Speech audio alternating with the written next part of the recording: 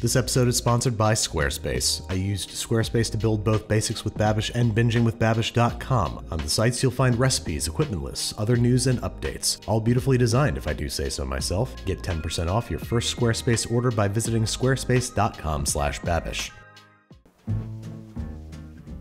Hello.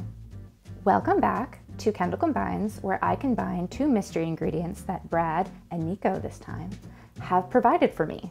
Well, let's do it, yeah? I'm real nervous. I'm not sweating though, which is good. All right, I'm gonna do it. I'm gonna do it. Meat. Meat that I definitely know how to cook. Whole steaks that I definitely know how to cook and have never not done before. Great. I don't even, I can't tell you what this is, what cut this is. New York strip. Thank you. It's New York strip. I can tell by looking at it. I'm so hoping that this is something that goes so well with steak. Okay. Oh, chocolate! so much chocolate. Okay, I feel pretty good about this. Mm, I don't. I don't feel good about this. I'm just gonna eat this and not that. So I came up with a plan. We're gonna make beef Wellingtons, but they're gonna be mini because the steaks are kind of small. The elements of beef Wellington are beef, duxelle, which is a finely chopped minced mushroom mixture. Crepes are typically used to kind of ensconce the whole beef mixture before it's wrapped and puffed out. And then there's also prosciutto in there too. Where? I don't remember, I'll find out. So beef in the beef Wellington, beef tallow in the puff dough, chocolate in the crepes, and chocolate sauce to be served over top of the miniature beef Wellingtons. That's the plan. We'll see how it goes. This is gonna be a long day. I'm using pre-rendered beef tallow because the New York strips that we already have, I would have to get a lot more to have enough tallow. I don't think I can use 100% beef tallow because it doesn't soften the same way that butter does. So I'm gonna go with a 50-50% ratio. I've got eight ounces of butter here and I'm gonna measure out eight ounces of beef tallow, but in combining them, I can't just melt the tallow and melt the butter because when butter melts and then solidifies, the emulsion is broken. And again, it won't behave the same way. I'm going to soften both the butter and the tallow to around 80 degrees. So it's like room temperature, softened, mix them together, and then refrigerate that without hopefully breaking the butter. So it's combined. Now I'm gonna make a thin patty out of this maybe. I think that'll chill faster. I've separated them so that they can harden once more into a butter stick-like consistency. And then I'm gonna make a butter block out of them. So now we're gonna be making the base dough for the puff. And that's gonna be 20 ounces of all-purpose flour, four ounces of softened butter, half an ounce of salt, and about 10 ounces of water, give or take. Once they are combined, I mix them in the stand mixer until a shaggy dough forms. Then I'll turn it out onto the work surface and knead it a little bit if necessary and then roll it out to a rectangle about 8 by 12 inches and more importantly, half an inch in thickness. And then we'll refrigerate that and make the butter block. Speaking of, it's time. The butter tallow mixture has hardened in the fridge. It's perfect right now. So I'm gonna take it out and we're gonna make a butter block. So we got both our blocks here.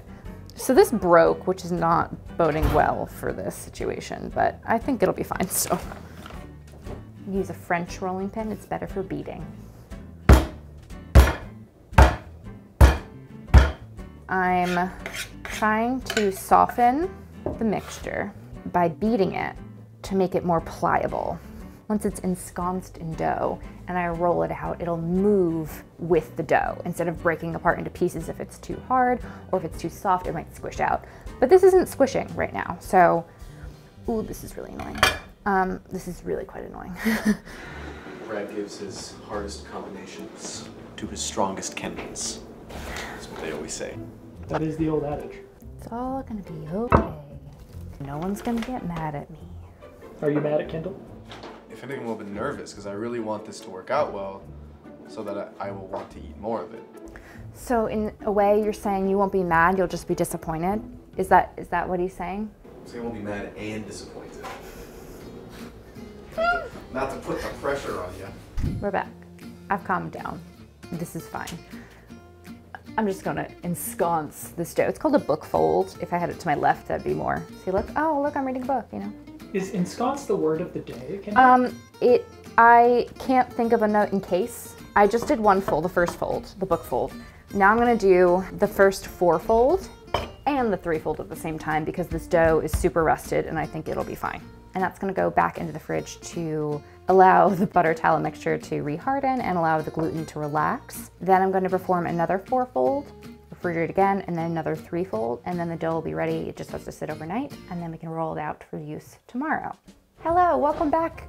It's been a second for you, but it's been a whole night for us. It's the next day, and we've got more beef. I'm gonna try to butcher it, but I'm probably going to butcher it. New York strip is not a super fatty cut. Uh, obviously there's the fat cap, which I will cut off.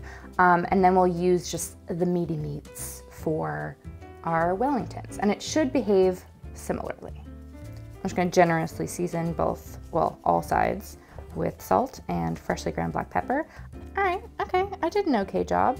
You're not gonna wanna cover these while they're in the fridge because basically you want as much airflow as possible so that when you sear it, there's not a lot of moisture there. So get a good sear because if water leaches out, it's gonna prevent a crust from forming.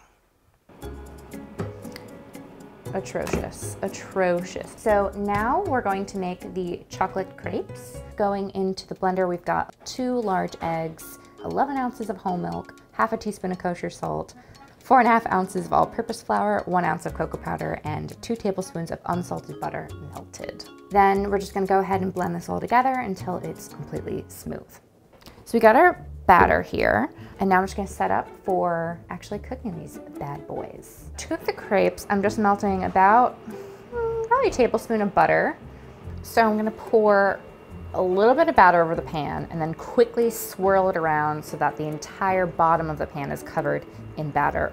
And cook the crepe for about one minute on the first side and then very carefully flip it and cook for another 30 seconds to 45 seconds.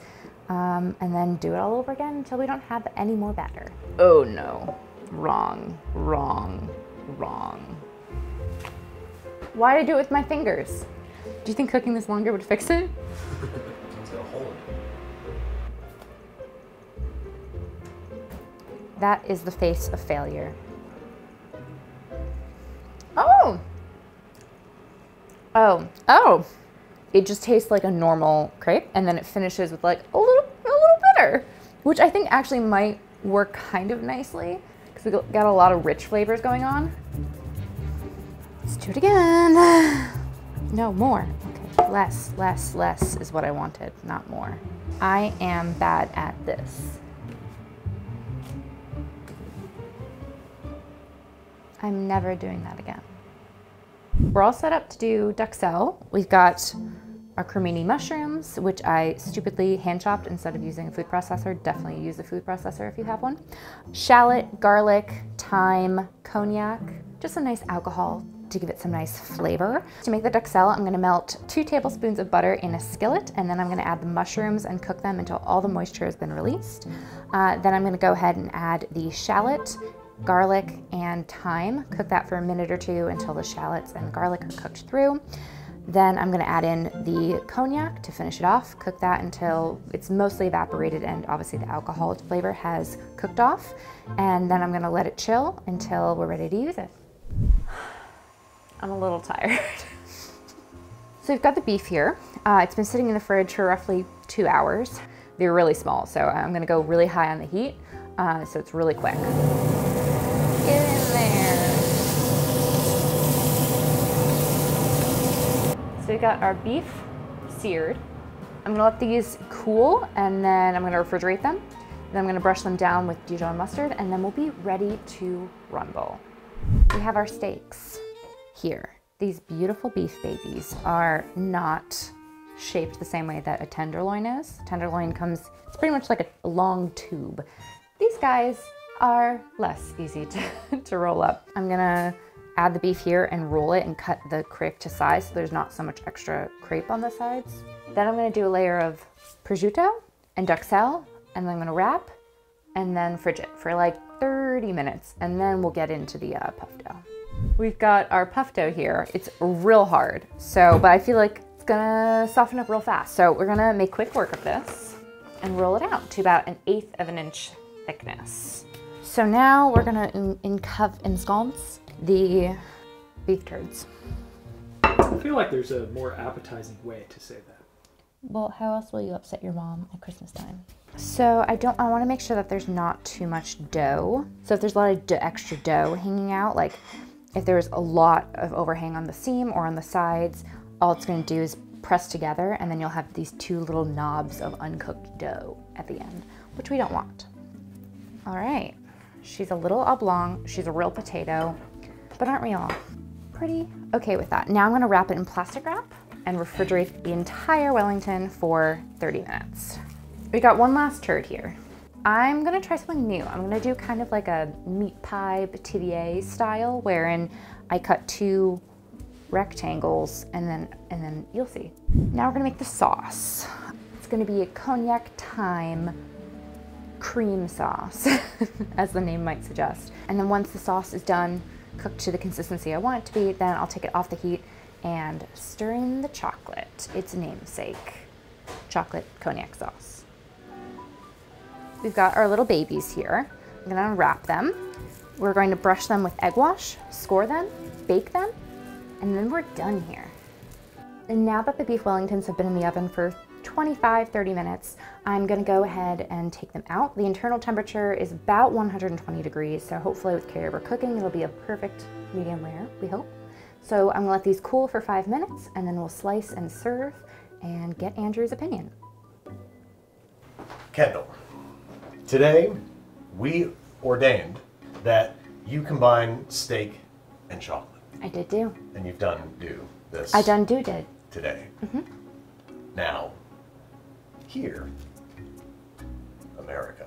Do you want so, me to tell you about it? I'd love to hear all about this. Okay. I clearly have a beef Wellington. What'd you do? I made the puff dough with 50% beef tallow, 50% butter, which I don't recommend doing. It was very, very difficult to do. The crepes layer is chocolate crepe. Chocolate crepe. with crepe. no sugar, so it's just like this very. I mean, you'll see. It may not come through at all. It it tastes bah. like a like a normal white flour crepe to begin with, and then it finishes with like this bitter, earthy cocoa powder flavor because there's no sugar. The other element of chocolate here is the sauce. Yes. So I didn't really know. Chocolate sauce is kind of a thing for steak, but usually it's like a red wine reduction thing, which I know you're not a fan of, and I'm not really such a fan of either. Steak with chocolate sauce sounds like a Salt Bae thing. Yeah. yeah. So this is a cognac cream sauce. Oh. Which was it took two seconds to make and it was so good. yeah, eat it, eat it, eat it. it. Taste everything. Um, I every time I made an element, I was like, oh, that's a little salty. So just expect that. We, we were just talking about how hard it is to work coffee mm-hmm. in recipes. Chocolate, I would feel the same way about. But using chocolate in a savory capacity with no sugar, just the cocoa powder, there's something to that because there is a richness to this that if you fed it to me, mm-hmm. I know it's different, but I would not be able to identify. It's got a mystery savoriness to mm-hmm. it that is actually very enjoyable. What's interesting? Oh, I, I I liked. I'm I'm pretty. I'm overall happy, and I'm and I love miniature cute things. So I had a great day. This is so delicious. I think that you hit it out of the park. Mm. This is fantastic. Thank you. And it's not like you're trying to sneak cocoa in here. It's an element of it. Mm. It's something new, something different. And doggone it, I like it. Thank you for combining for me today. Oh, I don't have a response to that.